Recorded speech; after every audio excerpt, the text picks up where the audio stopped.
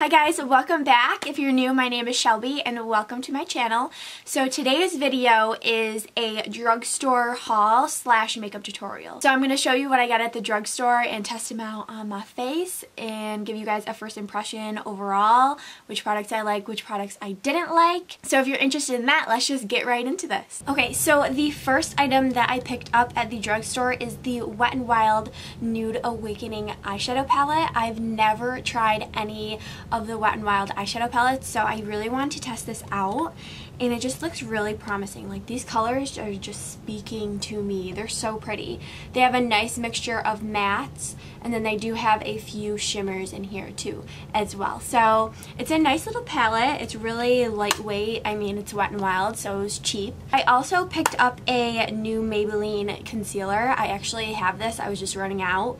Some of these products I already have, and I just needed to restock on them and then some of them are new so it's like a mixture of both so this is the Maybelline Fit Me concealer and this is in the shade 15 Fair I'm just gonna start off by priming my eyes with this Fit Me concealer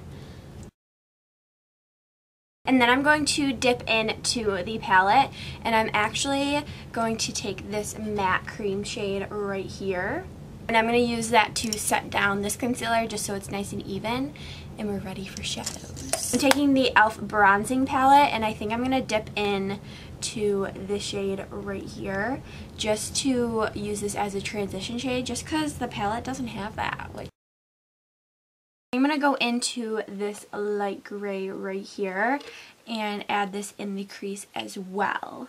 Also, I will be linking below all the brushes that I use in order if you guys are interested.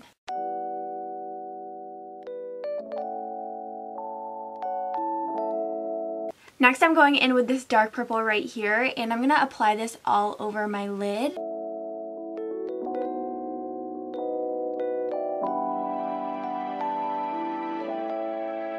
And then I'm taking that first brush we used and dipping back into that bronzing color cause, just because I feel like we lost some of the tan color up here so I just want to bring it back a little bit.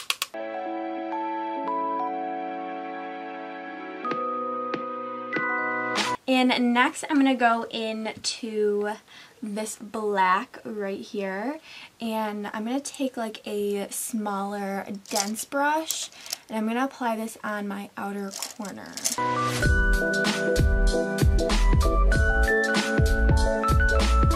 We will dip back into this palette later in the tutorial to do the under eyes and then the brow bone highlight and stuff. So I actually do like that palette. I think it has great pigmentation and I think it blends out really nicely for an eyeshadow palette.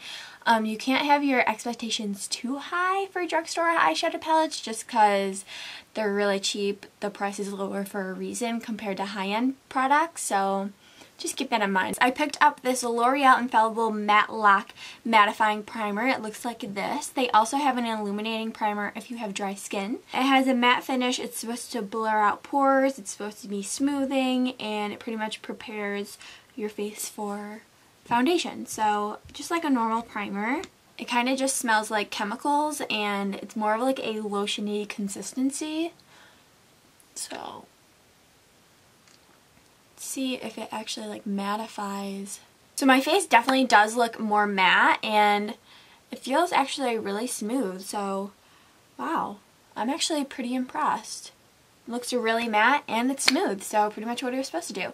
So for my foundation I just picked up a different shade of this foundation. This is the Wet n Wild Photo Focus. I absolutely love this foundation but I definitely needed a lighter shade so that's why I haven't used it in a while. I picked up the shade Rose Ivory.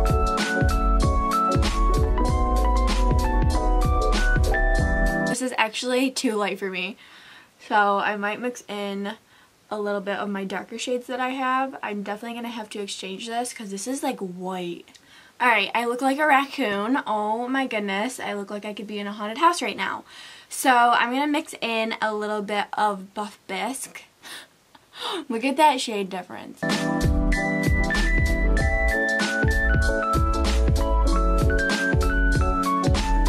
This looks more like my skin tone. We're looking a little crazy just because the eyes are so dark right now, but it'll definitely look better as we apply more products onto my face.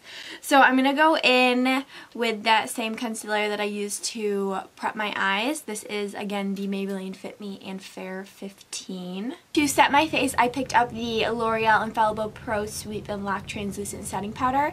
Looks like this. It's a really white consistency, so I'm hoping that this doesn't have flashback, and it sets the makeup really nicely because I need this makeup to look good.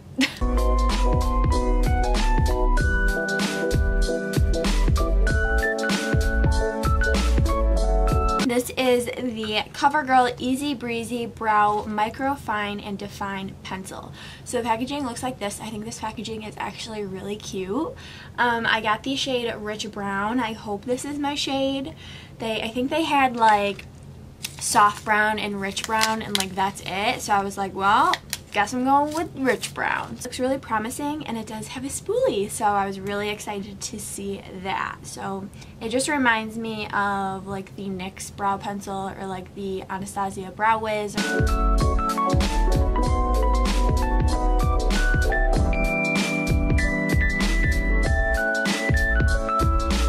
So the brows are complete. I think I do like that pencil. It's just a little different and it's a little, um, don't know, not what I'm used to, I guess.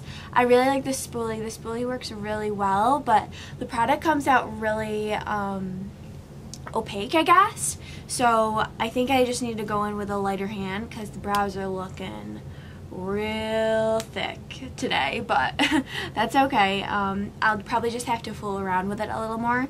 So now I'm going to dust all this powder off, see if it looks good. So I do not like that powder at all. I hate when translucent powders lift up my concealer from underneath my eyes and then my freckles poke through.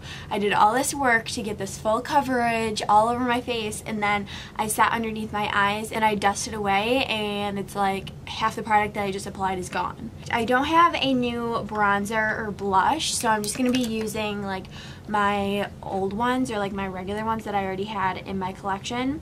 So I'm going to be taking the e.l.f. bronzing palette just because this is like an all drugstore look. And I'm just going to be swirling this shade, this top right, and then this bottom left.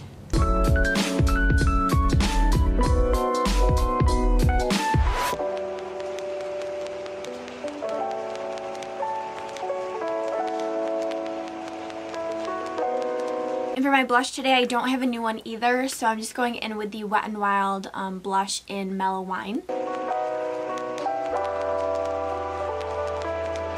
And then for my highlighter, I picked up the Wet n Wild Highlighting Gold Bar. This intrigued me so much. I actually love Wet n Wild's highlighters. I have, I think, three shades, and I love the formula, and I just they're just such good highlighters for the price. So this is what this looks like. It's just like completely gold and then it has like a little bit of pink right here.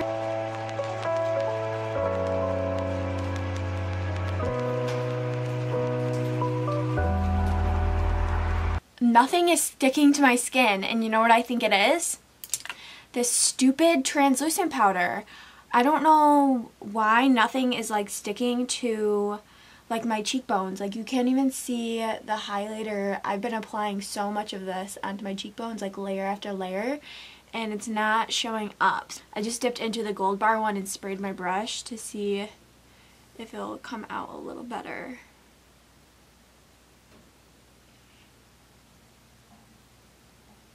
So we finally have some highlight on after like 40 different layers. I'm going to go into the shade right here and I'm just going to run this along my lower lash line. I'm just going to dip into this purple really quickly and focus this really closely to the lash line.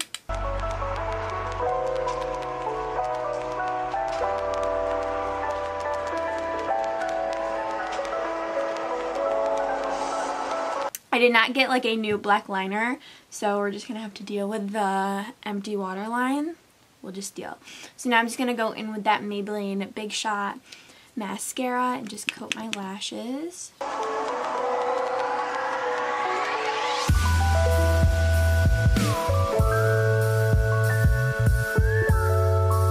Mascara is on. I love that mascara. I feel like it makes my lashes look so just voluminous, pretty, spread out. just very long too. So I just have one product left that I picked up and this is the CoverGirl Melting Pout Matte. This is just like a liquid lipstick from CoverGirl and it's this really deep plum purple. Man, we're looking smoky today. Oh my goodness.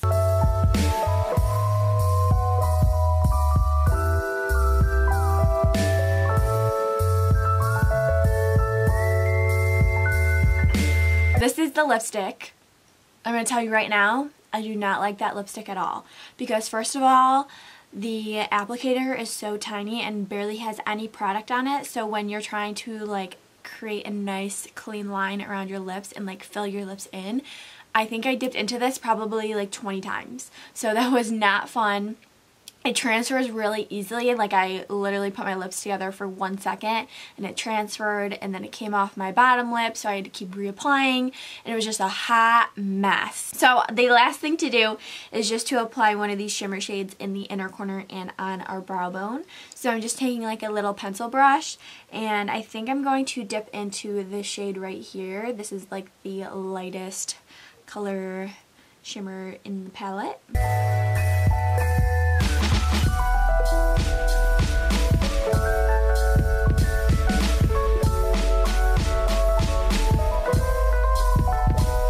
Alright guys, and this is the completed look. I'm looking very smoky, very vampy, very dark looking.